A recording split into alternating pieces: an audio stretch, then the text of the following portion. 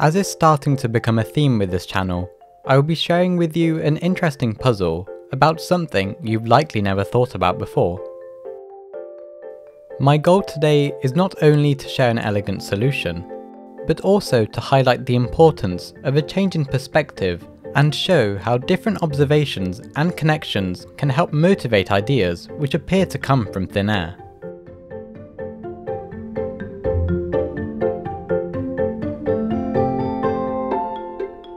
This video is brought to you by Brilliant. More on them later in the video.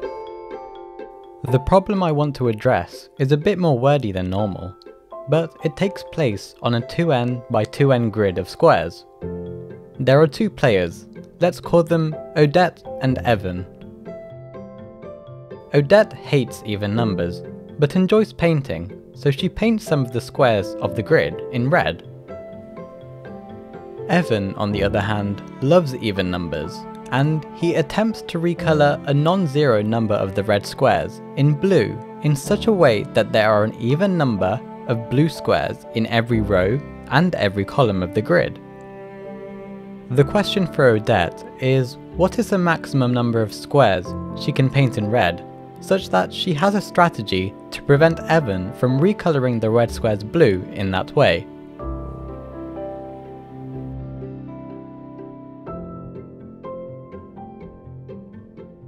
Those of you who have seen my video about problem 4 of the 2023 Balkan MO will already have a slight head start with this problem. It's another bounding problem where we're looking for a maximum.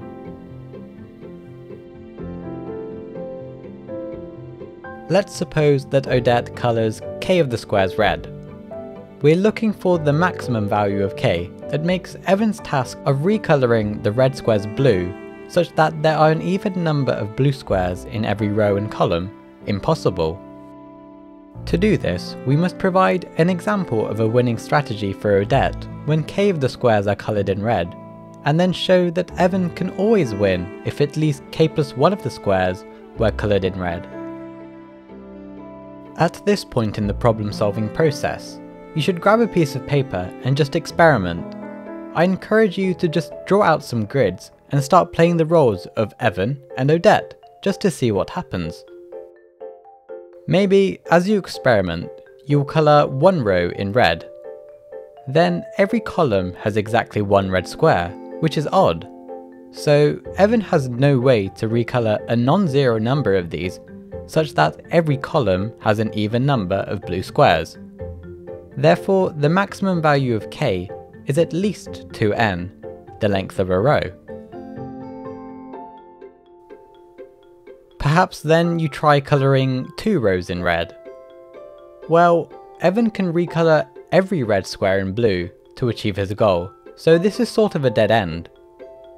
We can't completely rule out k equals 4n as a maximum, since we haven't checked absolutely every colouring involving 4n red squares, but this example isn't particularly useful. What about colouring one row and one column in red? This looks promising because all but one of the columns contain one red square, so to ensure that the number of blue squares in each column stays even, none of these can be recoloured blue by Evan. A similar argument applies to all but one of the rows. Hence, this means that the only square that Evan is allowed to recolour blue is the intersection of this row and column. But again, this leads to an odd number of blue squares in that row and column. This means that Odette has a winning strategy here, so our lower bound on k increases to 4n minus 1, the number of red squares we started with. Just as a side note, this isn't Odette's only winning strategy when k equals 4n minus 1. This kind of staircase pattern also works, and I'm sure there's many more.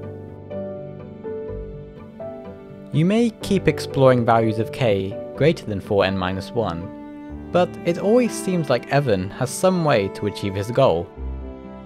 By this point, we should probably conjecture that Evan always has a winning strategy when k is at least 4n. But we need to prove this.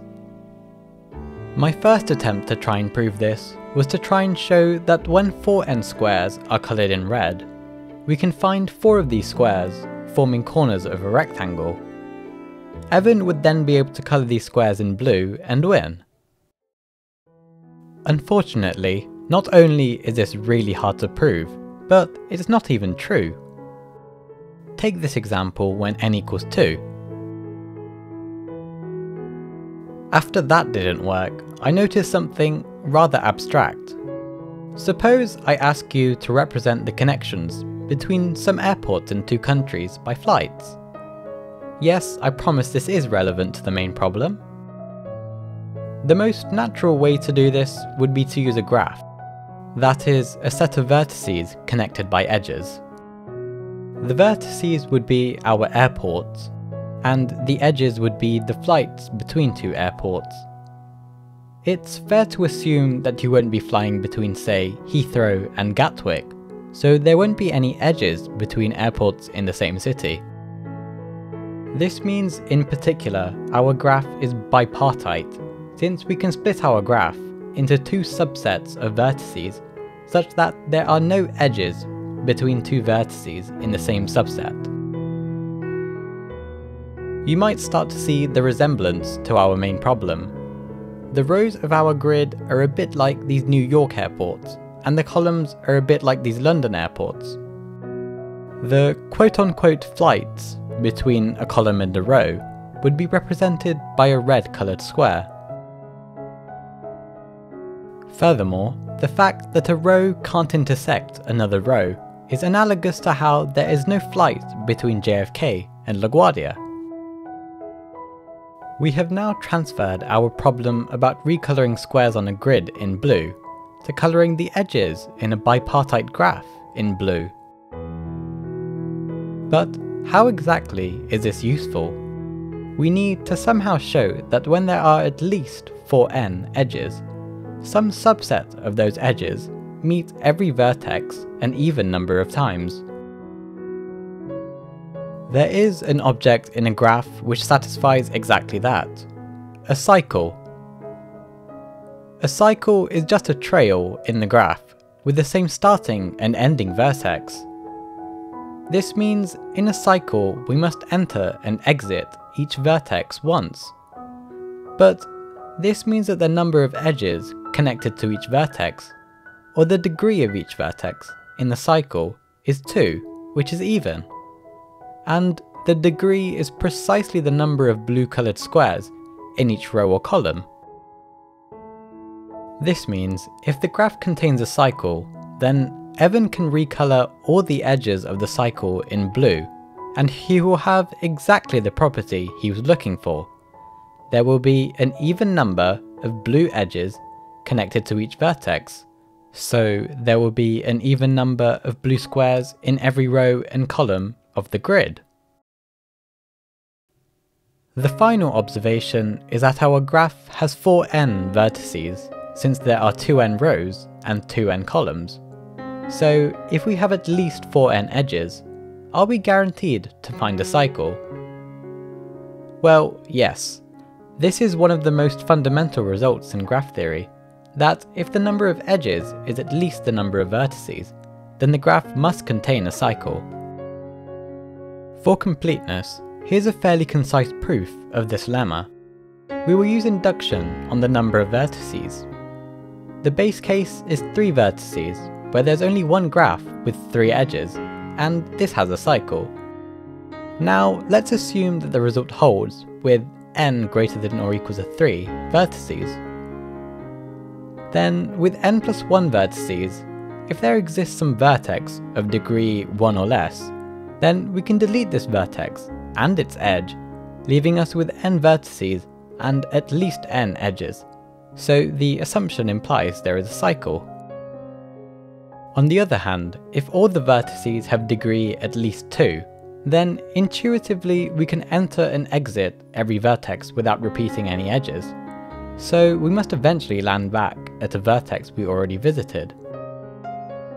More rigorously, if v1, v2 up to vk is the longest path, then since v1 has degree at least 2, then it has some neighbour w which isn't v2. If w is inside this longest path, then this path contains a cycle. And if w is not contained in this longest path, that's a contradiction, since w, v1, v2 up to vk is a longer path, contradicting maximality.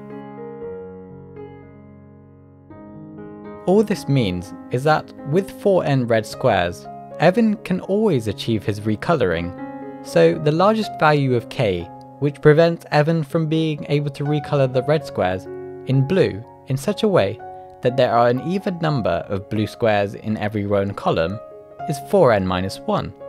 And we're done. To conclude, I think this problem is an excellent example of how a shift in perspective can make a problem which is extremely hard to grasp almost trivial. It's also an excellent example of why we should even care about graph theory, and whilst the problem itself might not be very applicable to the real world, the thought process definitely is. And there are parallels which can be made to real world transportation problems, like that of the airports. If you want more practice with problems or situations like this, today's sponsor Brilliant is the best place to go. Brilliant is a platform with thousands of interactive lessons in maths, data analysis, programming and AI. They are the most effective way to learn with their approach of teaching from the ground up and lessons filled with hands-on problem solving. There is an emphasis on doing rather than memorizing, which is extremely important for being able to handle and interpret new problems. A recent addition to Brilliant's catalogue is their Predicting with Probability course. It's perfect for learners of any level and you'll be able to gain insights by working with real datasets from sources like Starbucks and Spotify. This course slots into their already extensive library on data analysis, which is a great way to help you learn how to work with and visualize massive datasets. If all of this sounds interesting to you, then you can explore what Brilliant has to offer, free, for a full 30 days by visiting brilliant.org forward slash polyamath or clicking the link in the description. You will also get 20% off an annual premium subscription.